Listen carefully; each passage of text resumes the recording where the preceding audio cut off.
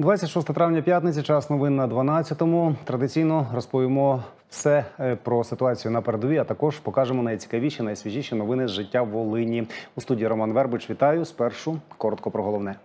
Рашисти вдарили по медзакладу. Загинула людина, поранені діти. П'яний суддя за кермом на блокпосту на смерть збив нацгвардійця.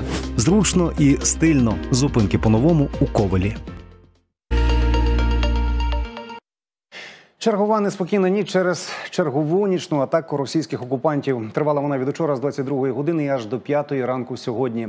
Ворог змістив напрямок удару на схід. Загалом зафіксували пуски 17 ракет різних типів та 31 ударного дрону. Сили ППО знищили вночі 10 крилатих ракет, 23 шахеди та два розвідувальні безпілотних літальних апарати. Атакували вночі столицю. Над Києвом усі ворожі цілі було знищено. Найбільше ж дісталося Дніпру.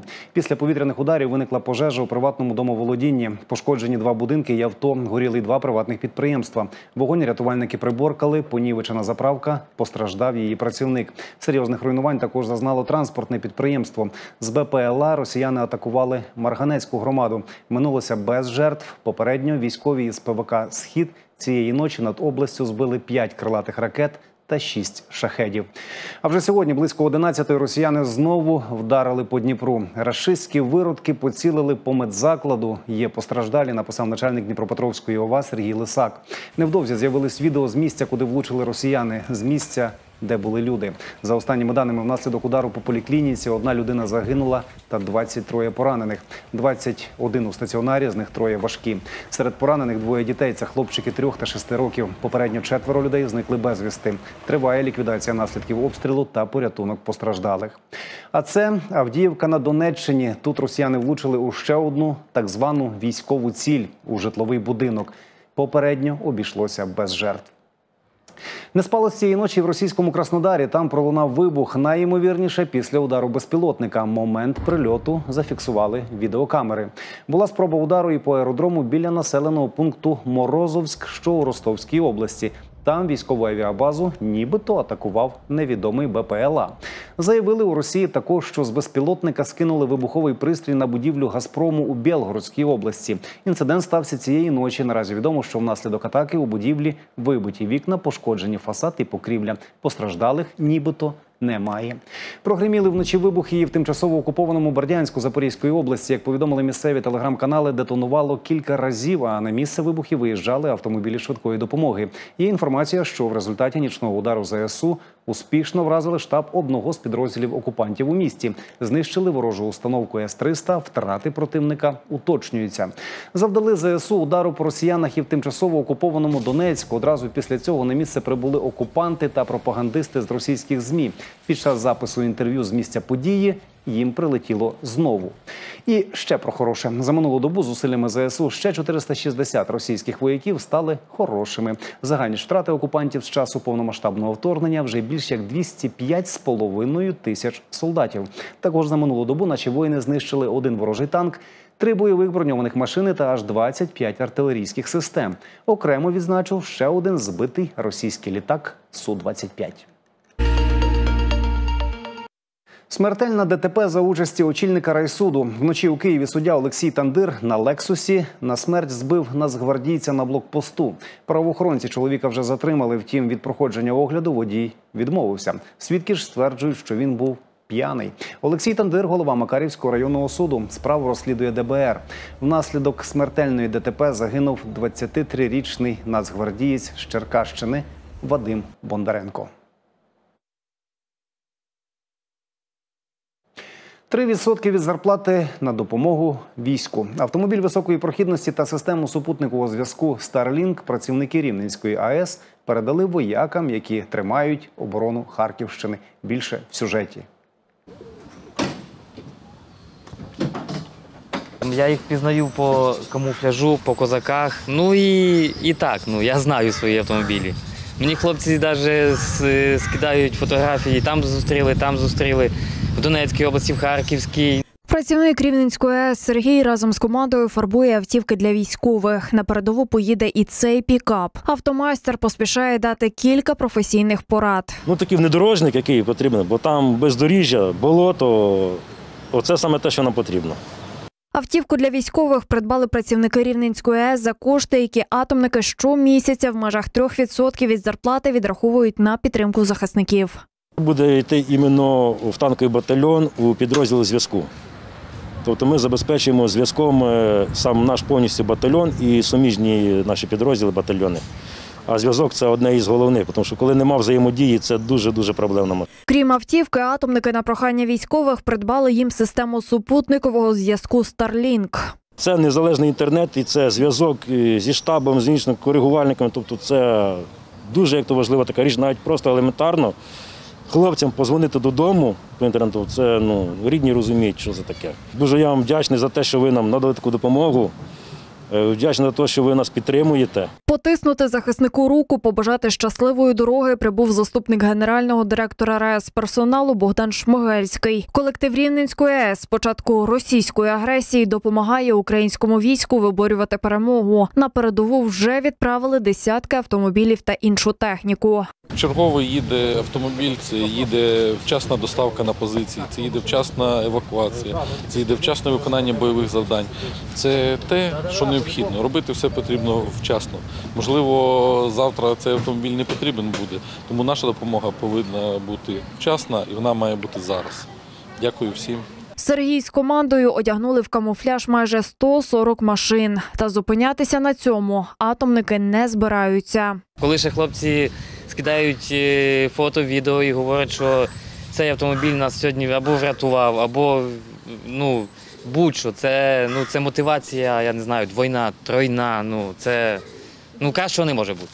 В дорогу військовим смаколики, міцні чоловічі обійми. Все, бережіть себе. Прийшов, побив до напівсмерті і пішов. У селі Ратнів Луцького району 18-річний молодик на підпитку жорстоко побив свого односельчанина. Чоловіка госпіталізували в відділення реанімації обласної лікарні. Напередодні у постраждалого виник конфлікт із 18-річним односельцем. Ввечері, будучи на підпитку, молодик прийшов до його будинку та жорстоко побив чоловіка. Тепер агресивному хулігану світить від 5 до 8 років позбавлення волі.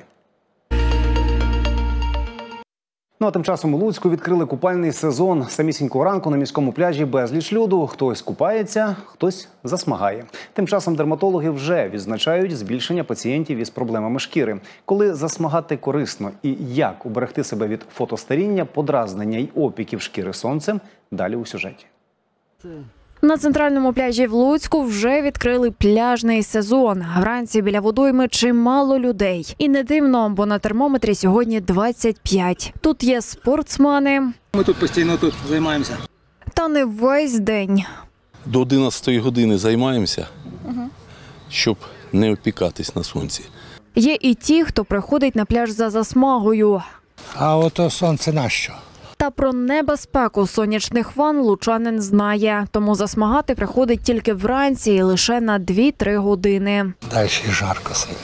Засмагати каже, треба вміти. Не щодня, поки не загорю. Днів 10. Далі хватить. Більш все одно не загориш. Дерматологи певнять, з 12 до 16 години небезпечно перебувати на вулиці. У цей час сонце активне і навіть агресивне, а ультрафіолетовий індекс найвищий. Як наслідок, Є таке розуміння, як е, фотостаріння, є таке розуміння, як сонячні опіки, є таке розуміння, як е, подразнення шкіри. Все це можна отримати не тільки лежачи на пляжі, а й під час походу в магазин, на роботу, в школу, себто просто перебуваючи на вулиці. Запобігти ж цьому можна декількома простими методами: закривати тіло легким одягом та носити головний убір. Не треба забувати і про панамки, про капелюхи, про косинки, які мають великий широкий е, круг. Для дитини панамка, собі то ні. І все. Стараємося бути в тіньочку, щоб сонце не світило на голову. Ну і гуляємо в першій половині дня, не, не в активну фазу сонця. Наступний і не менш важливий спосіб сонцезахисні засоби. Ними треба захищати обличчя та відкриті ділянки тіла. Використовуємо СПФ, там де е, 50 дорівнює. Нині певнить медик, таких є безліч. Це і креми, і бальзами, і лосьйони. Який же кращий? Перш за все, радить лікар, обирайте доступний для вас по ціні. Можна взяти дорогий і користуватись десь колись? Ні, це не, не, не працює. Е, краще собі дозволити бюджетний і згідно рекомендацій, а більшості рекомендацій це кожну другу третю годину все ж таки наносити.